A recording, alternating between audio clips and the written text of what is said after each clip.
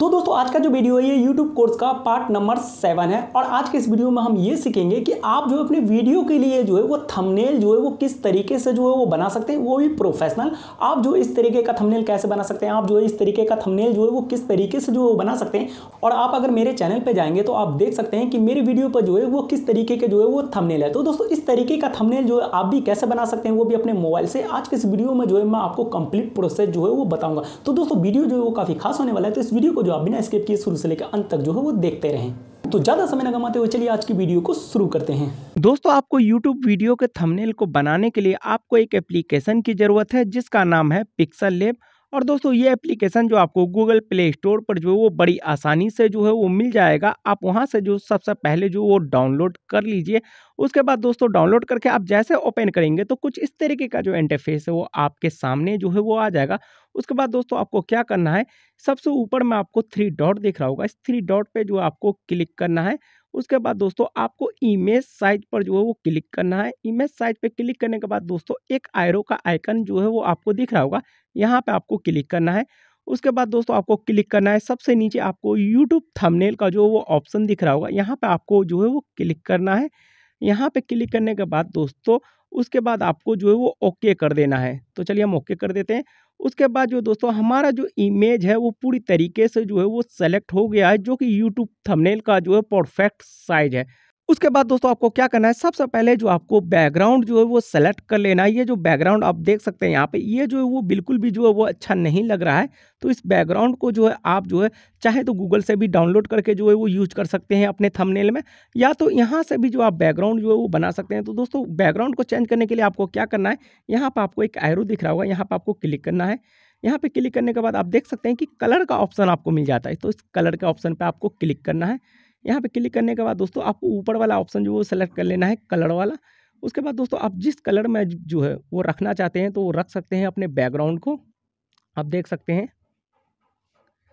White रखना चाहते हैं। जिस कलर में दोस्तों अगर आप रखना चाहते हैं तो आप जो है वो रख सकते हैं। आप देख सकते हैं जैसा कि जो भी आपको अच्छा लगता है उस तरीके से जो है आप अपने बैकग्राउंड का जो कलर है उसे जो है वो लुक दे सकते हैं। उसके बाद दोस्तों यहाँ से जो आपको जो क्या करना है ओके कर देना है। तो, ये बैकग्राउंड जो है आपका जो सेलेक्ट हो जाएगा। और दोस्तों अगर आप ये चाहते हैं कि आपको जो इन सब में से जो है वो कोई भी बैकग्राउंड जो है वो नहीं चाहिए और आप जो है जो गूगल से आप डाउनलोड करते हैं किसी भी बैकग्राउंड को उसे अगर आपको यूज़ करना है तो उसके लिए आपको दोस्तों क्या करना है यहाँ पर जो देख सकते हैं फॉर्म गैलरी तो फॉर्म गैलरी पर आपको क्लिक करना है। और आपने जो भी बैकग्राउंड जो है वो डाउनलोड करके रखा होगा, वो सभी का सभी जो आपकी गैलरी में जो है वो दिख जाएगा। तो उसके बाद जो दोस्तों आपको क्या करना है, उस बैकग्राउंड को जो यहाँ से जो सेलेक्ट कर लेना है। तो चलिए हम यहाँ से जो इस बैकग्राउंड को जो वो सेलेक्ट कर लेते हैं। उसके बाद यहाँ से जो हम ओके कर देंगे। ओके करने के बाद जो ये है, जो है आपके बैकग्राउंड में जो वो सेट हो जाएगा, उसके बाद दोस्तों आपको क्या करना है, इसमें जो है वो कोई अगर आप इमेज जो है वो ऐड करना चाहते हैं तो बड़े आराम से जो है वो कर सकते हैं। तो इमेज ऐड करने के लिए आपको क्या करना पड़ेगा, ये जो आपको जो गोल कलर का एरो दिख रहा होगा, यहाँ पर को क्लिक करना है। उसके बाद आपको जो है इनपोर्ट वाले ऑप्शन पर जो है वो क्लिक करना है। उसके बाद आपने जो भी इमेज जो है वो, ये रखा है पीएनजी में बना के, उसे जो आपको सेलेक्ट कर लेना है। तो चलिए हम जो इसे सेलेक्ट करेंगे। उसके बाद चलिए यहाँ से हम थोड़ा क्रॉप कर देते हैं इसे और यहाँ से उसके बाद आपको ओके कर देना है। ओके करने के बाद इसे खींच के आपको जो है एक साइड में जो है वो कर देना है। आप देखते जाइए इसी तरीके से जो आप भी थंबनेल बना सकते हैं।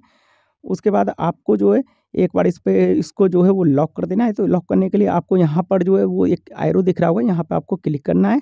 उसके बाद यहाँ से हम लॉक कर देंगे। तो अभी तो हमने लॉक कर दिया। आप जो है ये हिलेगा नहीं, आप देख सकते हैं, कितना भी ये करिएगा, ये हिल नहीं सकता। उसके बाद दो दोस्तों, आपको अगर और भी इमेज जो है वो ऐड करना है तो आपको जो यहीं पे क्लिक करना है इंपोर्ट वाले ऑप्शन पे, और चलिए हम अपनी भी जो है वो एक इमेज जो है वो लगा देते हैं। तो हमें ये वाला इमेज अच्छा लग रहा है तो हमने जो यहाँ सेलेक्ट किया है, थोड़ा सा क्रॉप कर देते हैं, और यहाँ से हम डन कर देते हैं। उसके बाद चलिए हम थोड़ा जो इसे बड़ा कर लेते हैं, इस तरीके से, और इसे भी हम लॉक कर देंगे तो यहीं पे हम फिर से आयरो पे क्लिक करेंगे। और यहाँ से इसे भी लॉक कर देंगे। उसके बाद जो है दोस्तों, अगर आप जो अपने थंबनेल में कुछ लिखना चाहते हैं तो वो जो किस तरीके से लिख सकते हैं तो यहाँ पर आपको एक ए का आइकन जो है वो दिख रहा होगा तो इस ए के आइकन पे आपको क्लिक करना है। उसके बाद आपको जो है ये प्लस का आइकन दिख रहा है, जहाँ पर लिखा हुआ टैक्स तो टैक्स पे क्लिक करना है। उसके बाद पैलसिन का आइकन पे जो आपको क्लिक करना है। उसके बाद जो है इसे जो आपको डिलीट कर देना है न्यू टैक्स को। तो चलिए हम डिलीट कर देते हैं और यहाँ पर हम लिख देते हैं हॉरर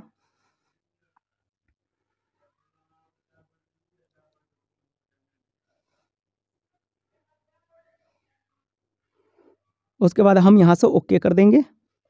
तो ये जो हमारा यहाँ आ गया है, आप जो हम इसे जो जितना साइज़ जो हम चाहते हैं तो हम जो साइज़ में जो इसे सेलेक्ट कर देते हैं।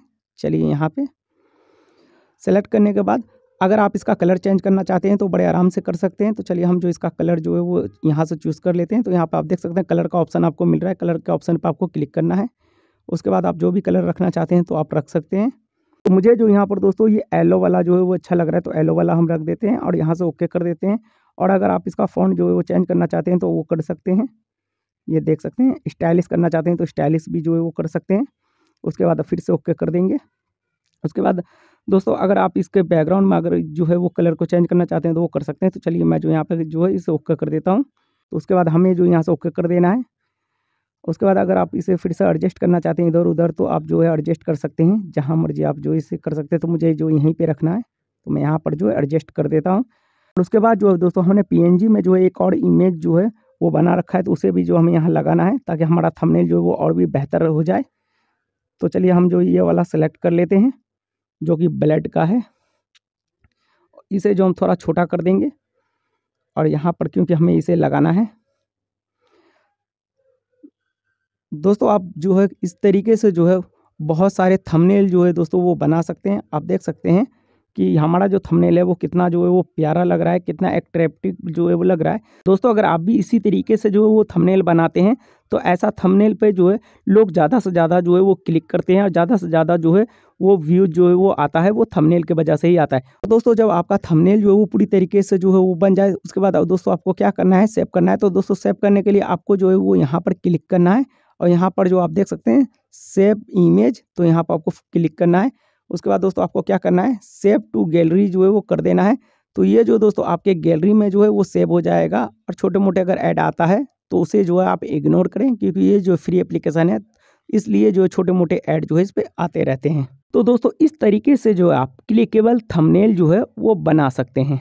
तो दोस्तों, उम्मीद करता हूँ कि आज का जो वीडियो ये आपको पसंद आया होगा। दोस्तों, अगर वीडियो पसंद आया तो वीडियो को लाइक और चैनल को सब्सक्राइब जो है वो ज़रूर कर दें। तो दोस्तों, मिलते हैं एक नए वीडियो में, एक नए के साथ। जब तक के लिए, टाटा बाय बाय